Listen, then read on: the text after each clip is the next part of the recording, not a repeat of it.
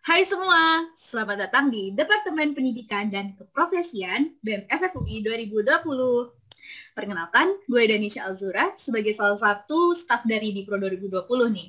Di podcast kali ini gue mau ngomongin tentang all about Dipro gitu. Dipro tuh uh, apa? Singkatan dari Departemen Pendidikan Keprofesian ya guys. Tapi gue di sini nggak sendirian nih. Gue ditemenin sama teman-teman dari Dipro 2020. Yeay! Hey. Hey. Oke deh, daripada kelamaan lagi, analogi nur gak jelas, mending kita langsung ngobrol-ngobrol aja yuk sama teman-teman dari Dipro. Siapa nih yang memulai? Uh, aku, Yuk. suaraku kedengeran kan? Kedengeran. kedengeran. Oke, halo semuanya. Uh, nama aku Herti. Di sini aku mau jelasin tentang SOMAP atau Sekolah Mahasiswa Berprestasi. Um, ini tuh cocok banget buat kalian yang mau jadi mapres. Di sini kalian bisa sharing-sharing langsung sama mapres FFUI sama mapres UI juga. Nah, kalian itu juga bisa belajar gimana cara bikin CV, karya tulis ilmiah, sama pidato bahasa Inggris yang baik. Mantap. Mantap. Oke deh, lanjut. Ayo, ayo. Selanjutnya gue ya. Oke. Iya, iya. Kari. Oke. Sebelumnya gue pengen itu juga. em, salah satu rekan kita ada yang tidak bisa berbicara, jadi saya saya akan membackupnya. Ya, jadi setelah itu ada proker lainnya. Ini masih berhubungan sama somap tadi, namanya apresiasi mapres. Itu dipegang oleh Hiban. Nah, jadi apresiasi mapres ini eh, acara fakultas yang eh, menseleksi mapres dari tiap angkatan. Jadi masih mahasiswa yang berprestasi itu nanti akan diseleksi oleh fakultas, kemudian nanti akan diberikan apresiasi oleh fakultas. Nah, itu kita di sini eh, bukan menyalakan bukan menggarakan acaranya tapi kita membantu fakultas saja. Nah, kemudian ada juga eh, proker lagi namanya PKM webinar.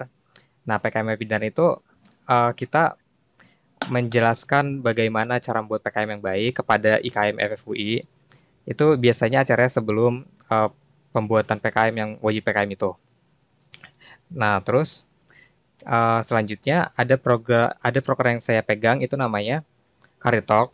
Career Talk itu jadi eh, membicarakan tentang eh, bagaimana cara kita mempersiapkan diri sebelum kita bekerja, seperti membuat CV, seperti hal-hal apa saja sebagai mahasiswa yang perlu eh, dipersiapkan sebelum lulus nanti.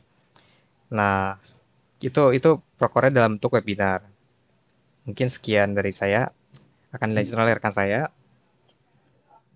Oke deh, lanjut ke Faradila.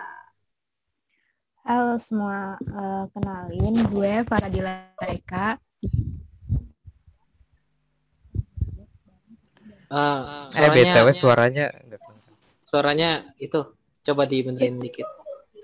Ya, Oh ya udah. oh iya, maaf tadi earphone-nya. Santai. Jadi itu eh, gue Faradila Eka. Nah, di sini tuh gue megang black box bareng sama Danisha. Nah, black box tuh kayak eh, G Drive yang G Drive yang berisi mengenai info-info tentang lomba. Dan di situ tuh ada berisi tentang ketentuan untuk mengikuti lomba-lomba itu. Kayak begitu. Oke deh, Terima kasih. lanjut lagi ke Kak Aida. Eh, halo semuanya, kenalin gue Aida. Sini gue megang tiga, ada pendataan prestasi, pendelegasian lomba, sama eh, grup lain F- eh, FFUI berprestasi. Eh, untuk pendataan, sini gue eh, tugasnya adalah untuk me- mendata eh, prestasi apa saja yang didapat sama IKM FFUI eh, pada periode kepengurusan itu. Kemudian, eh, pe- eh, hasil pendataan ini nanti akan diserahkan ke fakultas eh, agar fakultas dapat bisa memberikan apresiasi apresiasi ke delegasinya. Kemudian kalau untuk pendelegasian lomba, eh, di sini gue bantuin eh, eh, nyam- eh, nyambungin antara si delegasi sama fakultas. Biasanya itu dalam hal administratif kayak surat atau LPG atau proposal. Terus yang ketiga ada grup lain FFI berprestasi. Di sini eh, grup lain ini tuh eh, bertujuan untuk ngasih info-info yang lebih aktual eh, tentang eh, lomba-lomba ke dele- eh, ke IKM FFUI yang emang dia punya ke kesenangan terhadap eh, lomba-lomba gitu. Tuh. Lanjut ke Vanes. Oke Halo deh. semua. Halo. OIMFF ya. Ya, nama gue Vanessa Amarta. Jadi gue di sini kebetulan ditugaskan sebagai PO OIM FFUI. Nah, OIM FFUI sendiri ini uh, tugasnya itu menyiapkan IKM FFUI buat nantinya ke OIM UI. Jadi lombanya itu kira-kira mirip. Ada debat Indonesia, debat bahasa Inggris, lomba esai, lomba poster. Nah, kalau yang PCC ini khusus farmasi, sama nanti yang nggak ada di OIM FFUI tapi ada di OIM UI yaitu PKM. Nah, kebetulan karena OIM FFUI ini adanya Februari sampai Maret, jadi proker ini sempat dijalanin pas offline. Selanjutnya untuk OIM UI akan dijelaskan rekan saya, Cipa. Oke, jadi halo semuanya, kenalin gue Cipa. Uh, di sini gue pegang proker uh, farmasi Gustu OIM UI.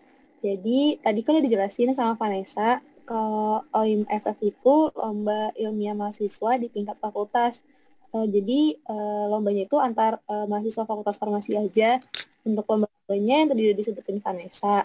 Uh, terus kalau di terus juara-juara dari OMFF tadi itu uh, dibawa buat ikut OIM UI uh, dengan lomba-lomba yang sama tapi ada satu tambahan lomba itu PKM. Gitu. Boleh next? Oke deh. Yo. Next sekarang ke Tio. Oke. Halo semuanya, kenalin gue Tio. Gue di sini sebagai uh, PJ kalender kompetisi. Gue sebenarnya sama Ferry di sini untuk buat kalender kompetisi. Jadi kalender kompetisi itu kita di sini kerjanya itu kita mencari dan mengumpulkan itu lomba-lomba apa saja yang bakal dilaksanakan pada satu bulan tertentu, misal kayak di bulan Juli itu lombanya apa aja. Nah nanti setelah kita kumpulkan lomba-lombanya, itu nanti kita berikan kepada uh, kita berikan uh, kepada ini divisi uh, media publikasi untuk dipublikasikan di akun uh, media sosial BMFFUI itu di Line dan di Instagram. Untuk lomba-lombanya sendiri itu bisa dari lomba farmasi atau lomba-lomba kesehatan atau bahkan lomba-lomba di luar dari bidang kesehatan. Sekian penjelasan dari kalian kompetisi, bisa dilanjut. Oke deh, kita lanjut ke Ferry, si PJ Magang. Ayo. Halo, perkenalkan nama saya Ferry, saya sebagai PJ Magang. Uh, nanti yang kalau pengen lihat video ini kan pengen lamar magang ya, jadi bakal ketemu lagi dengan saya nanti. Jadi nanti kalau ada urusan yang nanti akan ada kegiatan ya pas magang ya. Jadi nanti hubungannya sama saya.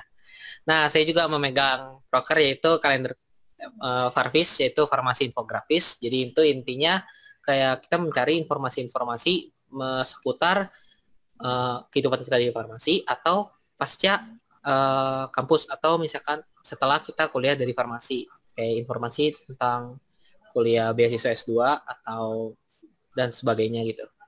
Atau bisa juga tentang keprofesian. Uh, mungkin itu aja. Jadi, okay, ayo Danisha. Oke deh. Ih, apa semuanya nih udah ngejelasin tentang proker-proker ya kan keren-keren banget kan proker-proker dari Dipro. Jadi tunggu apa lagi guys? Ayo teman-teman magang kita masuk ke Dipro. Ayo masuk ke Dipro. Iya, bertemu dengan saya. Ya jangan lupa ya. Bertemu dengan saya. Coba-coba aja Jangan lupa dah. Coba siapa tahu berhadiah nanti. Dan Tio. Sampai berjumpa di Magang BEM 2020.